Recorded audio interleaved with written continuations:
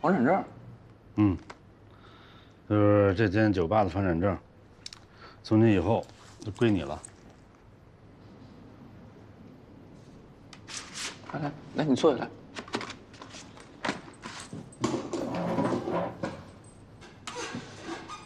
你什么意思？这间酒吧啊，我不打算再开了。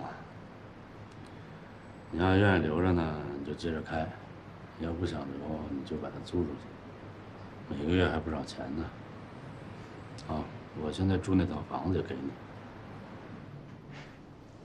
不是你现在，